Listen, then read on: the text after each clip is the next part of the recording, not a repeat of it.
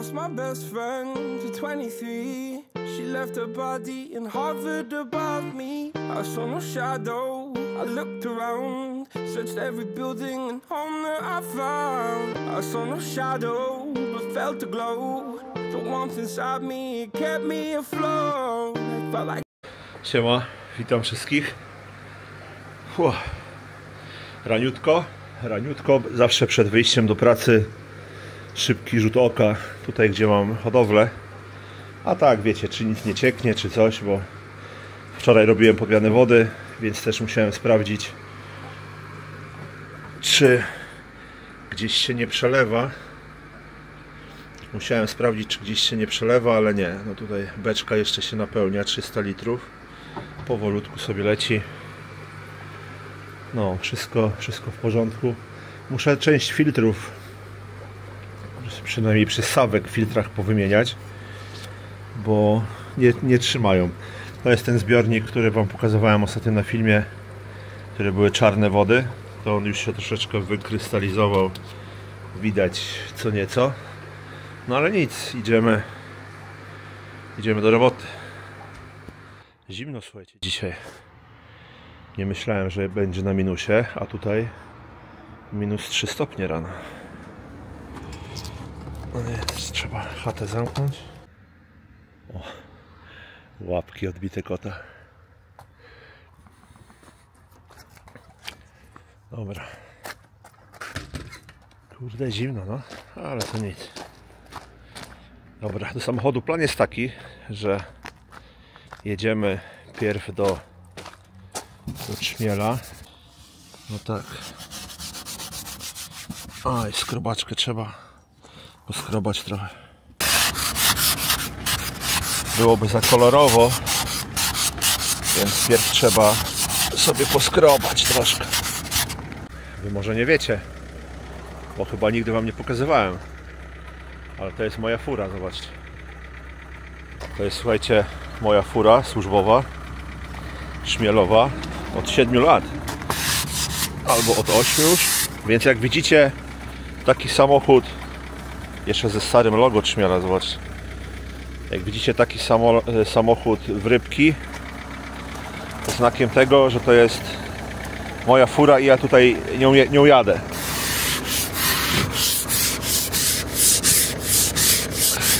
Dobra, zobaczymy sobie, co dzisiaj mamy do roboty. Co my dzisiaj mamy? Poniedziałek. To dalej troszkę tutaj.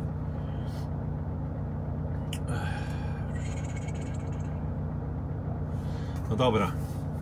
Mamy trzy serwisy, trzy zbiorniki, dwa morskie, dwa morskie, jedno słodkie.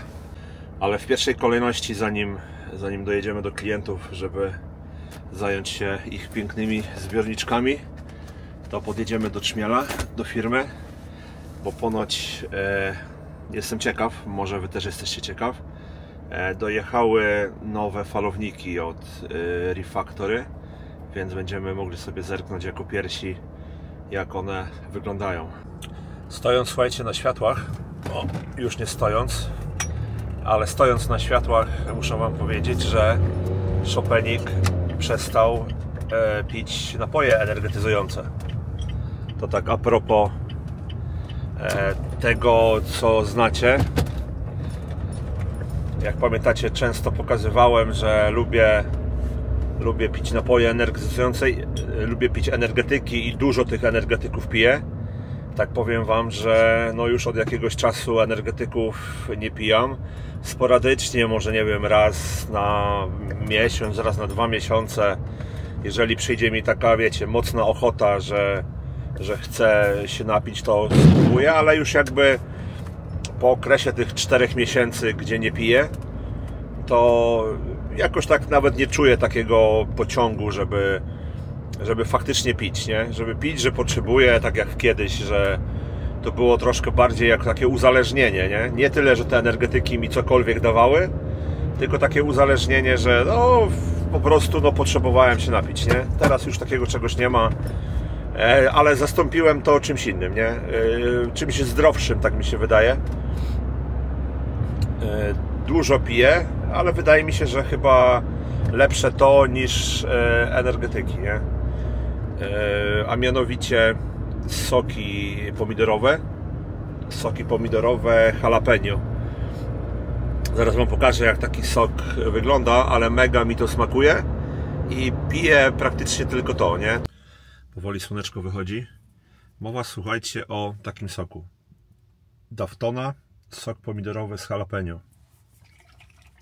To jest ostatnio coś, co bardzo intensywnie pijam. Piję coś, co mi smakuje e, i jakby zacząłem pić te soki pomidorowe i też jest fajnie, nie? W sensie, że e, piję na razie to, nie?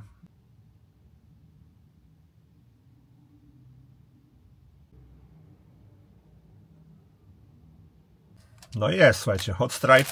Bardzo lubię. I do picia Fat Killer. Fat Killeru może też się przyda, nie? Dzień wygląda u mnie bardzo podobnie. To wygląda praktycznie tak samo, nie? Rano rano córkę odstawić na autobus do szkoły, później się zebrać, po drodze żabka, e, zobaczyć jakie serwisy mam do, do zrobienia. No i jadę, nie? Jadę w trasę. Czasami Wrocław, czasami gdzieś poza Wrocław, Kalisz, Kępno, Polanica Zdrój, e, Brzeg Opolski i tak dalej, i tak dalej. Nie wiem, czy Wam o tym opowiadałem, ale wydaje mi się, że tak, że kiedyś na ten temat e, Wam mówiłem, że teraz to będzie już chyba ósmy rok.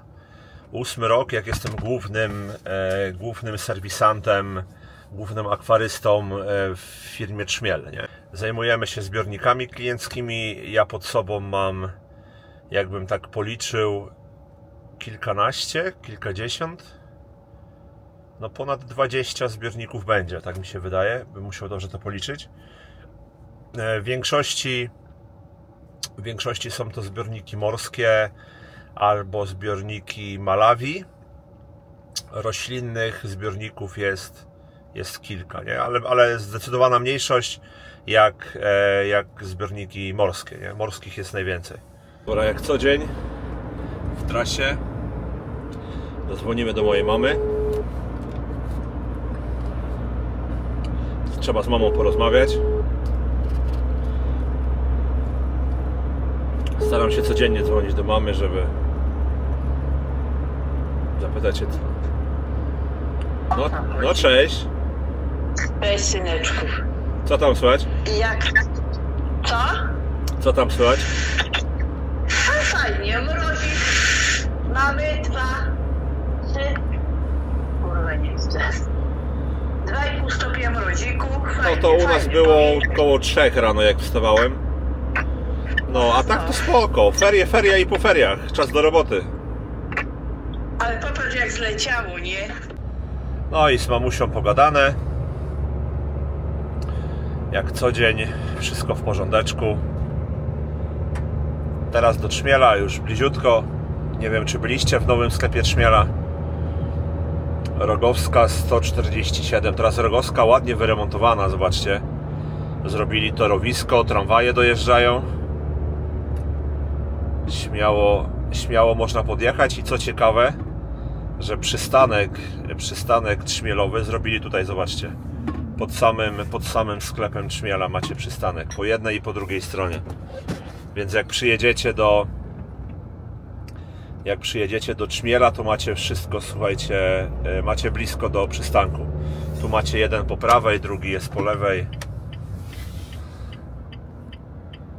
O, mryga pan, dziękuję.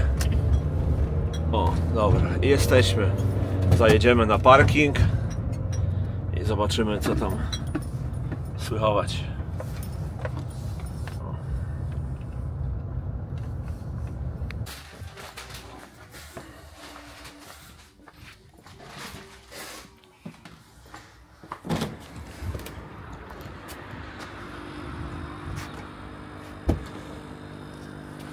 Pływa coś? Nie, chyba.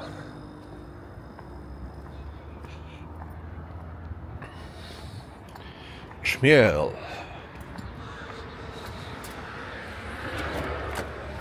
O kurde, czekajcie, muszę iść po klucze. Zamknięte, ale zrobili Myślałem, że już otwarte będzie, więc się muszę na magazyn wrócić.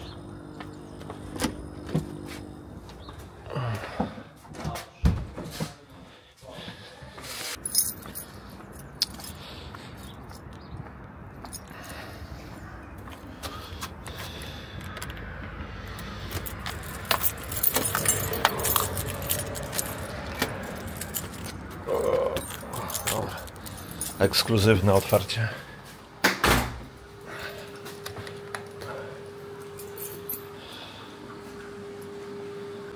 No i dobra, jesteśmy. Teraz muszę kilka rzeczy wziąć do klientów jak jadę. Zawsze sobie robię, słuchajcie, wcześniej listę, co potrzebuję. Ale tym razem nie zrobiłem, więc muszę sobie sam przypomnieć, co mogło się u klientów skończyć. Bo to jednak tydzień czasu teraz mi nie było, w tamtym tygodniu mi nie było.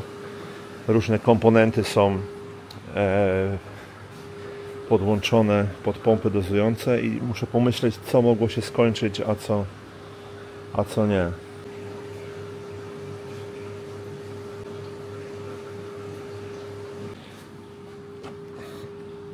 Dobra, weźmiemy sobie Pro Defensa. Weźmiemy sobie Pro Defensa, jakieś bakterie. Czy jakieś Weźmiemy sobie Stability. Duże opakowanie. No i tak, piękny, kochany Wrocław. Droga trzy pasy, autostrada. I się stoi. No niestety, nie wiem jak wasze autostrady w okolicach, ale u nas autostrada A4 to chyba nie ma dnia, nie ma dnia, żeby żeby nie było jakiegoś wypadku, żeby nie było korku i tak dalej, i tak dalej. No masakra, no. Trzy pasy w jedną stronę i się wleczesz albo stoisz. I tak to wygląda. Już się dowiedziałem, bo akurat jak wychodziłem ze sklepu, to podjechał boss Trzmiela, Michał, i się zapytałem, kurwa, gdzie jest falownik z Reef Factory? Miał być, a nie ma. Michał powiedział, że będzie, dzisiaj będzie dzisiaj będzie przed otwarciem sklepu, a sklep jest otwierany o 10. Więc powinny być. Dlatego byłem, dlatego byłem za wcześnie troszkę, bo ja byłem 5 po 8. Więc jeszcze kurier z dostawą nie przyjechał, a o godzinie 10, 10 z hakiem powinny falowniki już być na stronie, więc nie będę wrzucał tego już tutaj w tym filmiku, E, tylko pewnie jakiegoś shorta wrzucę, albo po prostu wezmę te falowniki e, z Refactory i nagram, i nagram jakiś film, nie? E, I wrzucę osobny film, żebyście, żebyście widzieli. Także tak sobie to wymyśliłem. Także na pewno nic nam nie umknie, tylko nie będzie tego teraz. Ja, pitole, tu się cały czas stoi, słuchajcie. Zjechałem z autostrady. Jechałem no, z 45-50 minut Zjechałem z autostrady, jadę jadę kolejną, kolejną drogą już po zjeździe z autostrady i dalej kurde stoję, nie? To jest, powiem wam, że niepojęte, nie? Ojej. I tak, I tak czasami bywa, no. Czasami fajnie się jeździ po Wrocławiu i okolicach, a czasami o, się stoi. Ale przynajmniej fajnie słoneczko świeci, więc nie ma najgorzej. To już przestaje być śmieszne, słuchajcie. Wyjechałem 8.10. 8.10 wyjechałem spod Szmiela, spod sklepu. Mamy 9.40. A ja dalej stoję. Najgorsze, że nie ma za bardzo jak zawrócić i pojechać inaczej. Więc tak sobie stoję. Poddałem się, moi mili. W lusterku możecie zobaczyć, że wszystko stoi. Nie wiem, czy widać. Nie będę, słuchajcie, poświęcał jeszcze kolejnej godziny czy półtorej godziny, żeby dojechać e, do klienta. No. Nie ma za bardzo innej drogi. To jest, wydaje mi się, że to jest spowodowane tym, tym korkiem na autostradzie A4, że wszystkie tiry i tak dalej zaczęły jechać, nie wiem, jakimiś e, osiedlowymi dróżkami i wszystko się w koło zakorkowało. No. Już jadę do klienta godzinę czasu ponad. E, a patrząc na GPS-a, jak sobie wbiłem, to bym musiał stać kolejne godzinę 20, żeby dojechać, nie? A bez sensu. No. W inny dzień przyjadę do klienta, a teraz, a teraz jadę po prostu no, w kolejne miejsce. Najgorsze, że już przejechałem kawałek teraz znowu muszę się przez pół Wrocławia wracać. No. No ale tak czasami niestety jest, że człowiek więcej spędzi e, w samochodzie, w trasie niż faktycznie e, tak stricte w pracy, nie? żeby coś porobić. No, a praca, a praca, słuchajcie, takiego e, osoby, która zakłada akwaria i później serwisuje te akwaria, to jest spoko, no mi się podoba. Mm, aczkolwiek robiąc to już przez 7 czy 8 lat, to już nie fascynuje i nie daje tyle przyjemności, co, co kiedyś na początku. Przez to też, że zajmuję się dziennie trzema, czterema zbiornikami, przez te 8 godzin tą, te ręce e, moczy się w tej wodzie i tak dalej, to przez to też troszeczkę ucierpiało i dalej cierpi jakby moje hobby takie w domu czyli, czyli krewety.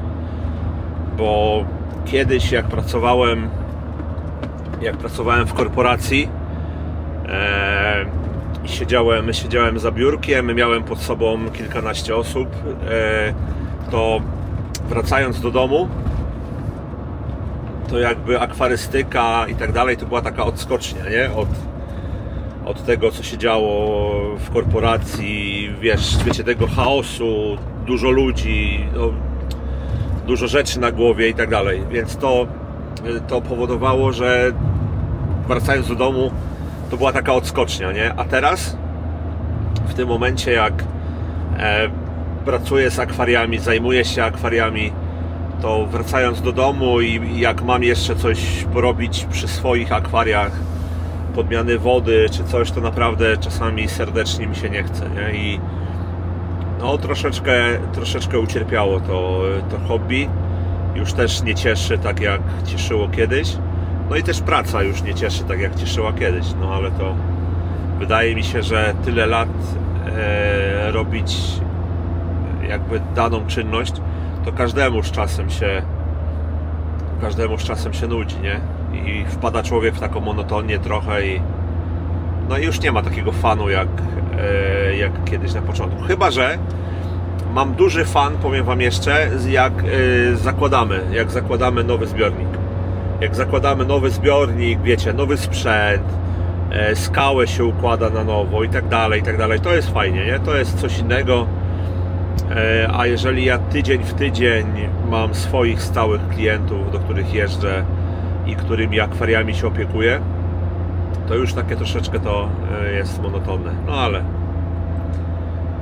taką pracę wybrałem, taką pracę mam i, i, i, i nie ma co marudzić, nie? Dobra, jedziemy w kolejne miejsce.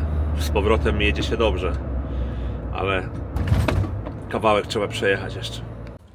Dobra, i po robocie. Teraz, teraz do Leroy i wymyśliłem sobie do krewetkarii, że może byśmy zrobili przykrycia nie z szyby, tylko z poliwęglanu takiego komorowego. Zobaczymy co będzie. Zobaczymy co będzie. Dobra, zaraz zobaczymy.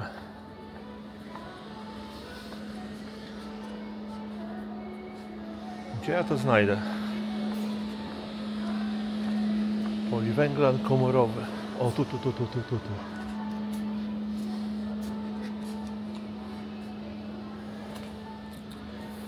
To jest coś takiego. A, tylko są różne grubości jego. Widzicie? Są takie cieńsze i są grubsze. Czekajcie, poliwęglan komorowy bezbarwny 4 mm 6 mm Wydaje mi się, że 4. 55 zł sztuka. No i to by było to. Wiecie, bo myślałem, żeby porobić też przykrycia na akwaria z takiego lekkiego właśnie poliwęglanu komorowego. Szybko do cięcia, lekkie, sztywne yy, i wydaje mi się, że sprawdzi się, że sprawdzi się dobrze. Fajna przeźroczystość jest też tego poliwęglanu. No, wydaje mi się, że to by było, że to by było spoko. I z tego łat, łatwo sobie nożykiem tapicerskim sobie docinacie i, i gotowe. No, wydaje mi się, że taki poliwęglan będzie spoko. Bo są jeszcze grube, ale taki 4 mm.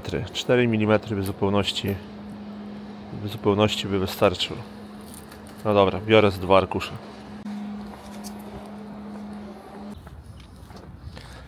Dobra, jeszcze do kakadu, bo nie chwaliłem się Wam, ale mam jaszczurki w domu. I to może nie tyle co moje jaszczurki, ale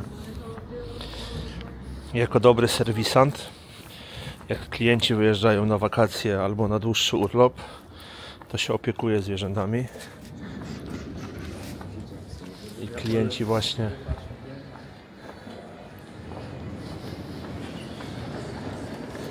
i klienci właśnie dali mi do opieki gekona orzęsionego, który je takie papki, ale te papki nie zawsze chce jeść i muszę mu kupić świerszcze trochę.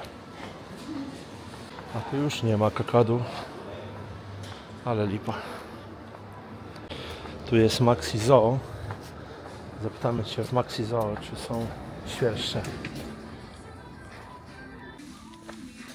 Mam pytanko, czy żywe świerszcze dostanę? Nas nie. Nie ma. Dobra, dziękuję. No i dupa. Kakadu już zamknięte. Nie ma. A w Maxi nie mają żywych świerszczy. No dobra, czyli dalej musi tą paczkę jeść.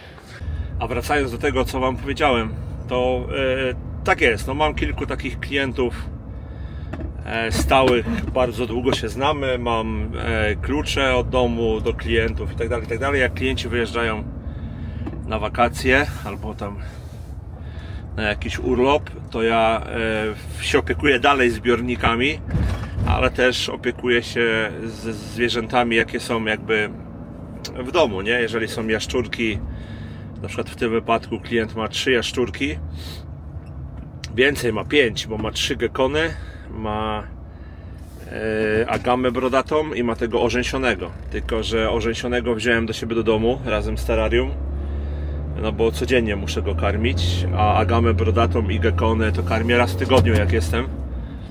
No ale właśnie świerszcze chciałem kupić, a, a nie ma to nic, kupi się gdzie indziej. No, a na przykład gdzieś tam, nie wiem, klient gdzieś tam ma jakiegoś psa, kota, coś, nie, to ja tam zawsze, wiecie, jak przyjeżdżam, to też u innego klienta yy, ogarnę, nie, czy tam, wiecie, kuwetę się posprząta, czy coś. Tak, żeby było dobrze, żeby klient był zadowolony. Pełna, słuchajcie, obsługa, pełna obsługa, klient zadowolony, a to jest najważniejsze przecież, nie? Dobra, jadę jeszcze do jednego zoologicznego, jak nie będzie, to, to już koniec, jedę do domu i zajmiemy się tym poliwęglanem. Zobaczymy jak to się tnie w ogóle i czy z tego jesteśmy w stanie zrobić coś fajnego. Zobaczcie jak moja żona dba, dba o męża.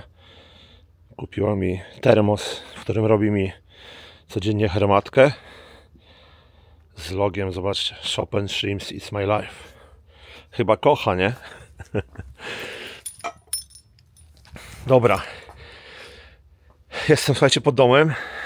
Kupiłem jednak trzy arkusze. Wróciłem się jeszcze po jeden arkusz. Bo będę ja potrzebował coś do krewetek. Ale też pomyślałem, ale też pomyślałem, że się przyda coś e, mojej teściowej. Wiecie, z teściową trzeba też dobrze żyć. I sobie wymyśliłem, że teściowej naprawię trochę w foliach tutaj. Bo mamy taką szklarnię. I widzicie, w tej szklarni są też e, ścianki z tego poliwęglanu. I tak jak gdzie niegdzie jest dobrze, tak już w niektórych miejscach zobaczcie ten poliwęglan się o, cały się kruszy, zobaczcie. I by było trzeba chociaż kilka, kilka wymienić. Na pewno tą byśmy wymienili. Tam widzicie też się zapadła. Ostatnia też jest do wymiany, też tak samo pokruszona, pokruszona jak ta. Więc stwierdziłem, że jak już biorę poliwęglan sobie, to i tutaj teściowej też, też wymienimy. Boczne, boczne ścianki są w porządku, ale już te już mają dziury, nie?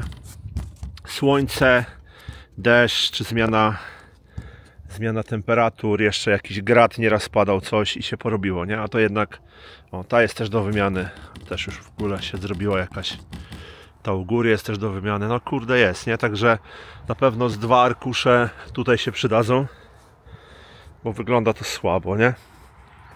Coś Wam pokażę jeszcze, co ostatnio Chopinik zrobił, raczej ostatnio, jakiś czas temu, żeby mi pod wiatą mniej wiało, tutaj gdzie E, gdzie mam jakby ten, zrobiłem sobie drzwi, zobaczcie.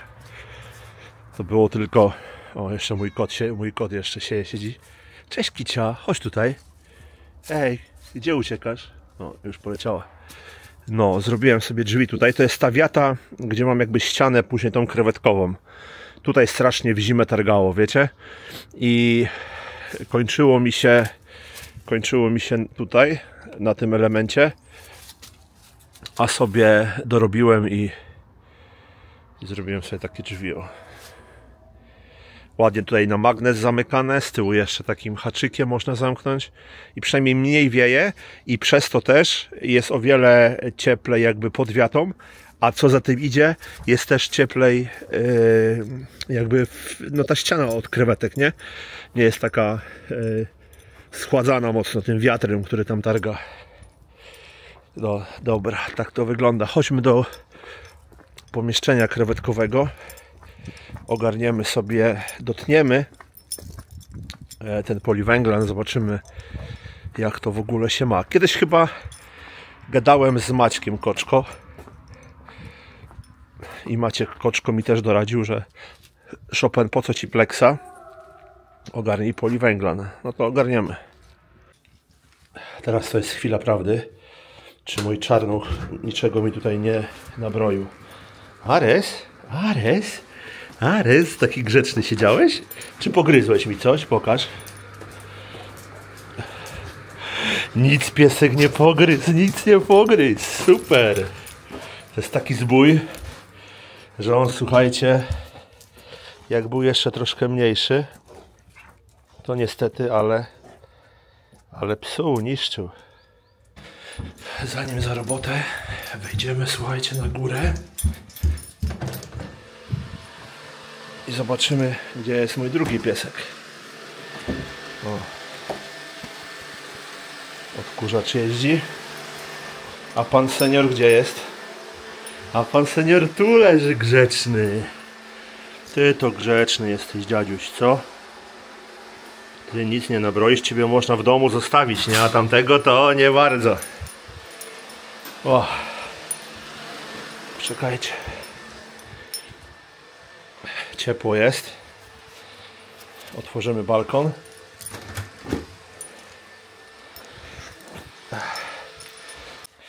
Mówiłem Wam, słuchajcie, o terrarium i o tym gekonie orzęsionym. O, tutaj siedzi, widzicie? Tutaj siedzi. Włączymy mu wodospad. Wyłączam ten wodospad na noc. Z tego względu, że czasami chlupocze mi i tutaj córka potem mi marudzi, że, że chlupocze. O. Zostawimy sobie, niech to sobie ładnie tutaj leci. Ja słuchajcie, nie ukrywając, u córki też mam terrarium, ale to o, o tym Wam poopowiadam kiedyś. To jest takie moje córki, gdzie dbam bardziej ja jak ona, no ale to tego było można się spodziewać. Chodź Arisku, chodź. O już dziadziuś, ciężko jest mu schodzić, Ale za to w górę jest lekko, nie? Jak pan za dupcie złapie i podniesie. Albo mam takie specjalne szelki. Mam takie specjalne szelki, co zakładam i tymi szelkami go wnoszę, nie? No bo to już jednak wiekowy pan. O, dobra, idźcie. A ja się zajmę, słuchajcie, robotą. No dobra, jesteśmy na hodowli. Zapalimy światełko, żeby się coś tam świeciło. Jak kręcimy na hodowli, to musi z tyłu być ładnie, nie? Dobra, regał prawy. Zapalony. Regał główny. Zapalony. O. Od razu lepiej, nie? Od razu lepiej.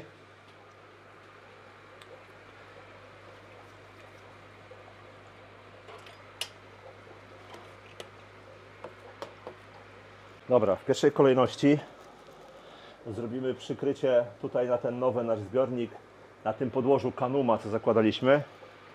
Sobie wezmę tylko metrówkę, zmierzymy ile jest mi tam potrzeba, e, jaki odcinek i się weźmiemy za, za docinanie. Wydaje mi się, że ostrym nożem takim tapicerskim powinno pójść bez problemu. Dobra. Sprawdźmy ile to ma. No tak, muszę niecałe 29 cm. I byśmy dwie połówki zrobili. Jedna połówka na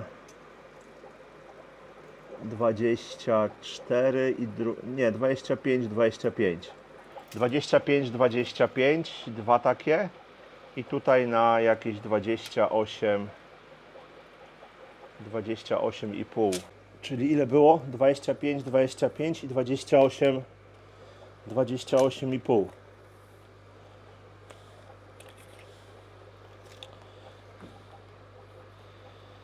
28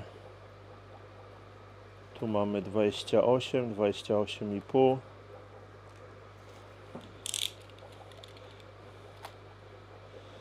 Najlepiej jakby gdzieś na łączeniu tutaj.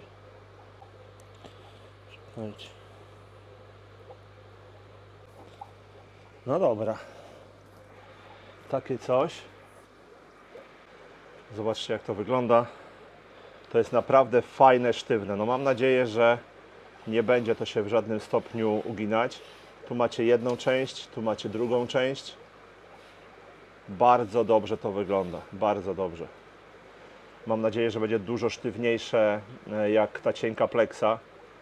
Wydaje mi się, że tak. Wydaje mi się, że tak. Że nie będzie się uginać. Fajnie jest też prześwitujące. W akwarium jest widno, więc też to w niczym nie przeszkadza. Łatwo się docina. Nie musicie mieć noża do, do szyb. Więc to, kurde, robi robotę. No, jestem, jestem z tego bardzo zadowolony. No, spoko. Dobra, lecę, słuchajcie, e, dalej z niektórymi. Szczególnie tutaj zobaczcie, widzicie, jak się pleksa robi w taką troszkę literkę U. I już to nie wygląda za ładnie. Więc tu sobie wymienimy. Bo niektóre pleksy, na przykład grubsze jak mam, mam ciut grubsze pleksy, no to ciut grubsze pleksy są super, nie? Zobaczcie, nic się nie ugina. Ale jak już jest taka cieniutka pleksa jak tutaj, no to już niestety dupa zbita. Ale to, komorowy taki poliwęglan, fajnie, fajnie, podoba mi się. Dobra, robię w pozostałych zbiornikach, bo w niektórych też to wymaga małej korekty, a w niektórych zbiornikach mam już, zobaczcie, powklejane prowadnice, ale nie mam po prostu e, tutaj tych, nie? Tak samo tutaj, zobaczcie. Też prowadnice są wklejone, ale nie miałem przykryć, nie? Więc teraz sobie z tego poliwęglanu podocinam i będzie piknie. Dobra, widzimy się za chwilkę. Robota jedzie pełną parą, słuchajcie. Zobaczcie, jakie ładne jakie ładne przykrycia sobie porobiłem. Patrzcie. Czad, nie? Tu Wam coś pokażę. Mam zbiornik. Mam zbiornik z blueboltami i wczoraj mi jedna samica bluebolta zdechła w tym zbiorniku, a dzisiaj już widać, że wypławki się do niej dobrały. Zobaczcie. Zobaczcie na kolor wypławka. Jeden, a tu drugi. Ten mocniejszy, nie? Już szamane było. No nic, takie życie. E, tu na pewno zaraz pójdzie e, Z1 z SL Aqua. No i będzie trzeba troszkę chyba ogarnąć tutaj e, podłoże, odessać i dosypać świeżego, bo widać, że już tutaj powoli się kończy życie. Dodamy do tego zbiorniczka Z1 i później tutaj e, odessamy troszeczkę podłoża i dosypiemy trochę podłoża świeżego. Jakoś to będzie. Więc nie będziemy robić jakiegoś super restartu, tylko e, odessamy troszeczkę podłoża, póki jeszcze maluchów nie ma. Czekajcie, krewetki odgonimy. O, te wypławy.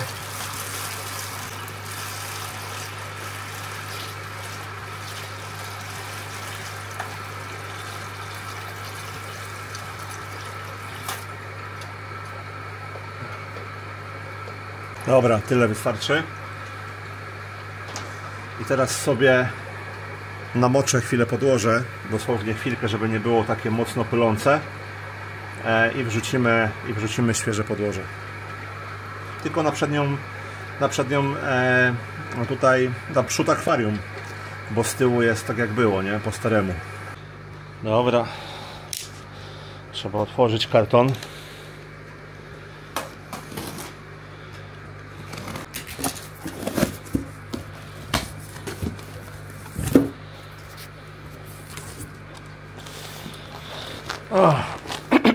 Dosypiemy ady. Dosypiemy ady złotej. Może tej ady złotej dosypiemy do, do kilku zbiorników. Zobaczymy. Do tych starych, starych. Tu mam jeszcze zbiorniczek, gdzie przed chwilą filtr wyczyściłem. Tu jest Ada Light. Też można by troszeczkę dosypać. I tutaj jest też Ada Light. I też by można było troszkę dosypać tej ady. No, zaraz ogarniemy coś. Chwilę ją sobie namoczymy, żeby się chociaż troszkę odgazowała. I zaraz wrzucimy do zbiorników. Teraz Wam pokażę ciekawostkę specjalnie dla Was zrobiłem taki nie test, ale żeby Wam pokazać jaka jest różnica. Zobaczcie podłoże, które wcześniej zalaliśmy, wstępnie odgazowaliśmy. Tych bąbelek na dnie takich małych jest bardzo mało, nie? Praktycznie fajne podłoże. Woda fakt, że zmulona, ale jest no dużo mniej tych bąbelków. A zobaczcie jak wygląda podłoże, które jest wsypane od razu. Od razu e, bez wcześniejszego namoczenia, chociaż przez chwilę. To widzicie jak jest, nie? I teraz powinniśmy je tylko tak albo dać mu spokój i ono powoli samo do siebie dojdzie, no albo powinniśmy troszkę to wzruszyć, żeby je odgazować, nie? No bąbelki, które są normalnie, gdybyśmy namaczali to podłoże, tego efektu by nie było. Oczywiście one ustąpią po jakimś czasie i po jakimś czasie to zniknie, ale można zrobić od razu wstępnie namaczając, wygląda to lepiej, tylko że później takie mokre podłoże wrzucając do zbiornika. Widzicie co się dzieje? A w momencie kiedy nie wrzucacie mokrego podłoża wcześniej namoczonego tylko od razu z worka to woda wygląda tak, nie? No, troszkę, troszkę dosypałem na przód, tutaj gdzie była Ada Light też zdjąłem, nasypałem na przód, tutaj też zdjąłem, nasypałem na przód. Eee, no i tak to, tak to będzie wyglądało. No i dobra. I porobione tak to mniej więcej wygląda teraz. E, czas dla rodziny. Jeszcze się wezmę za może za tą szklarnię e, teściowej, e, żeby też tam zacząć wymieniać te, te elementy. Mm, przynajmniej jest pogoda, nie? To wydaje mi się, że można coś, coś porobić. No, różnica kolosalna, nie? Dwa dosypywane takie, a, a jedno na sucho. No nic, to by było na tyle. Mam nadzieję, że taki film Wam się podobał. Za dużo w sumie się nie działo. Na pewno kiedyś będę filmy nakręcał z serwisów samych, jak to jest na serwisach, co robimy, jak robimy. Tylko to ma być jakby film wspólnie z Trzmielem nagrany. Nie taki, że ja sobie tam nagrywam na swój kanał coś, tylko to ma być takie bardziej już wiecie. E, do pokazywania też, no przez Trzmiela, nie? Więc tutaj no musicie się jeszcze troszkę wstrzymać. E, ale takie filmy też na pewno będą. E, no, no i tyle, kurczę. Pozdrawiam Was bardzo serdecznie. Trzymajcie się. Cześć, cześć.